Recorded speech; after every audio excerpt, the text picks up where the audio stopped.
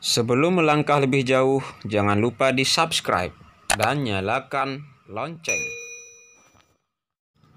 Halo sahabat salam tani, assalamualaikum warahmatullahi wabarakatuh. Saya berada di lantai dua. Nah, di sini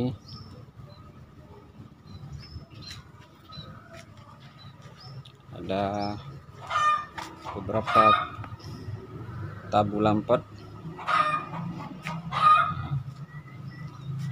ini konsumen kita. Nah ini kita akan kita tambahkan tebu lampot. Uh, jambu non biji jambu kristal non biji dengan mangga kelapa. Tadi ini media kita gunakan planter bag. Planter bag. Nah keunggulan planter bag ini dia ada tangkainya kita bisa depan setelah kita apa isi ini bisa mudah kita pindahkan. Walaupun ini besar ini ada tempat apa ini tangkainya. Kita siapkan bata. Nah, ini bata ini kita hancurkan. Yang tidak mempunyai bata bisa menggunakan batu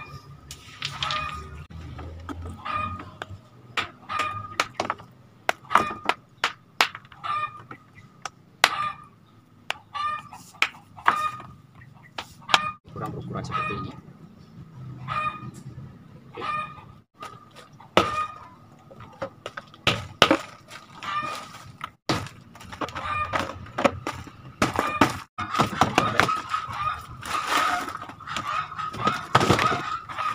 Nah, seperti ini.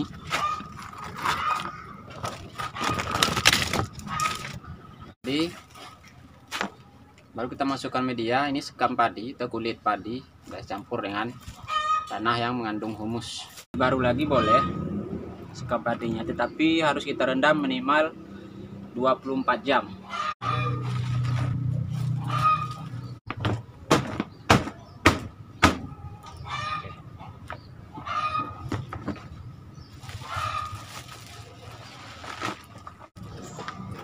ini jenis jambu kristal non biji.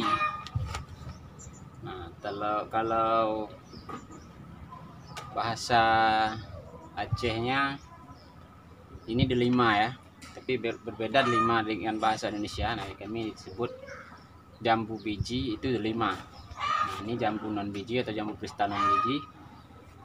Delima tidak ada biji. Nah, delima hanan atau bahasa kulitnya ini terke, terke tanpa biji. Oke. Keutamaan sekam padi ini banyak ya. Pertama dia menjaga tanah ini gembur ya. Jadi udara bisa masuk tidak padat.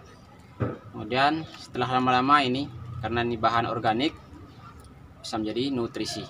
Bagus Oke, kita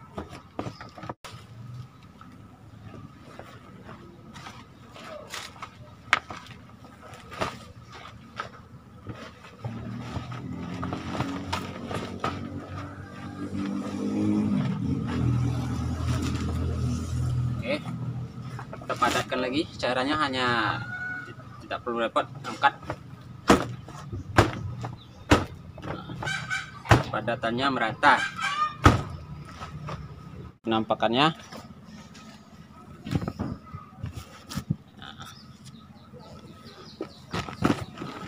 Setelah seperti ini,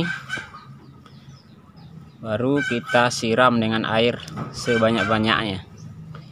Nah, pertama untuk memadatkan lagi tanah ini.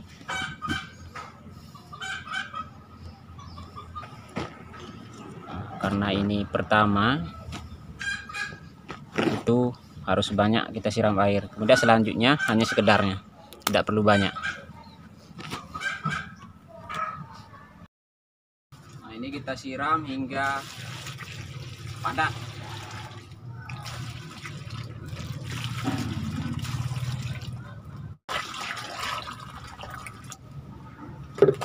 Nah, sambil kita padatkan lagi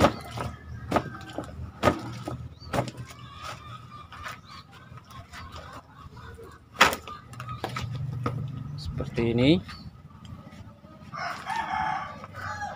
Nah kita siram hingga tergenang air seperti ini. Nah setelah ini kita biarkan dia mengering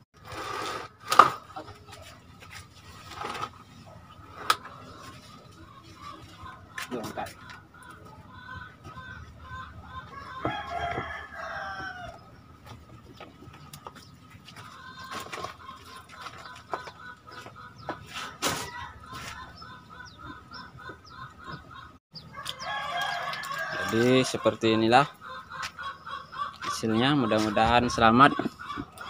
Sahabat salam tani nah ini biasanya hitungan bulan dia sudah mengeluarkan pentil bunga.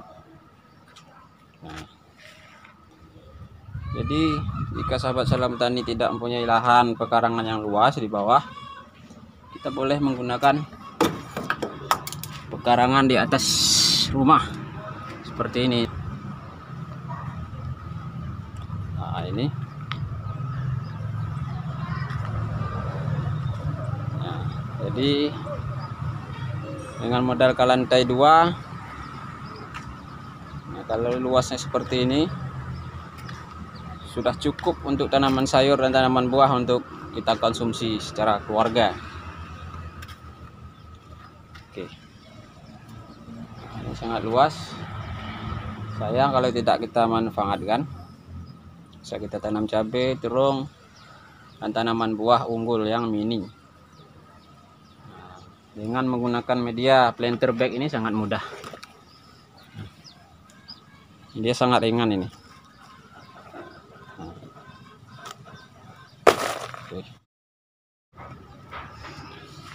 Jadi sahabat salam petani jangan lupa di like subscribe bagi yang belum subscribe dan bagikan di media sosial sahabat salam petani agar yang lain tahu. Kemudian saya lebih bersemangat dalam menyajikan channel edukasi tentang dunia pertanian dan dunia trigona.